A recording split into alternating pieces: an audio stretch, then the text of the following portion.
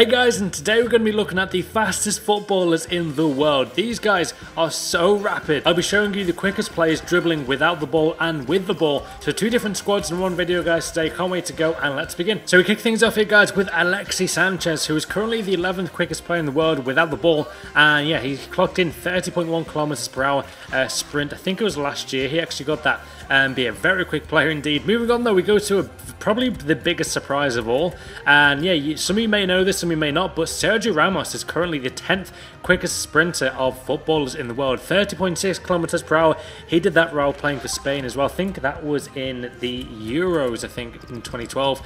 Moving on though, guys, we go to the next uh, position, which is going to be right back. We're going to go with the left midfielder here, Franck Ribery, who is the ninth quickest player in the world without the ball. Coming in at 30.7 kilometers per hour and also 19 miles per hour. I figured I may as well put both um, kind of stats there, guys, you know, kilometers per hour and miles per hour, based on the fact that I have a lot of European subscribers, a lot of people from around the world. They may use like different calculations. But anyway, moving on, we go to the next one, which is probably the biggest surprise, actually, more so than Ramos. It's Wayne Rooney, 31.2 kilometers per hour there for Wayne Rooney there. Very, why am I saying Wayne Rooney? Freaking Wayne Rooney, pronounce his name right, tit. Anyway, moving on, we go to the next player in the team.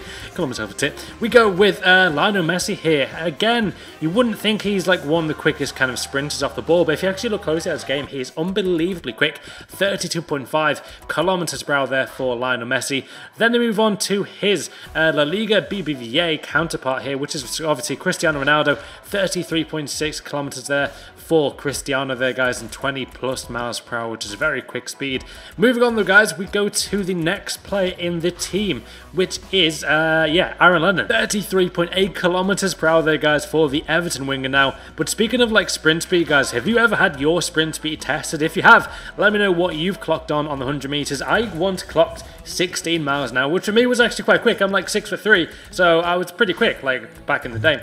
But yeah, let me know if you guys have had your sprint speed like tested before. Let me know in the comments below. Moving on though, go to Gareth Bale, 34.7 kilometers per hour, man, quicker than anyone on this list so far. Then move on to the next player in the league, which, oh sorry, on this team, which is going to be Antonio Valencia, who's had a bit of a revival under Louis Van Gaal this year. Um, yeah, he's got 35.1 kilometers per hour sprint speed without the ball, a rapid player. Cannot believe he's got 85 pace. Then move on to the next player in the team, which is going to be the second quickest player in the world today it is Mr. Theo Walcott, but this guy had his 35.7 kilometers per hour world record sprint speed in football broken by this man, who is probably a th- is he the oldest player in this team?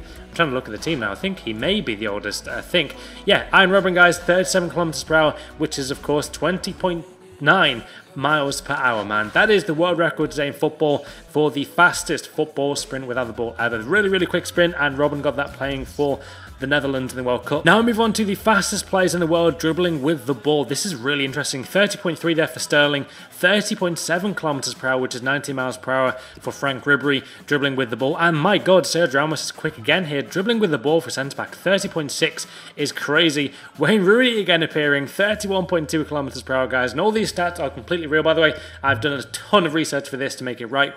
Then we get Lionel Messi, which is 32.5, Antonio Valencia 35.1 1 for him. Aaron Lennon 33.8. This bit isn't in order, by the way, because like on FIFA, the players go in a weird order.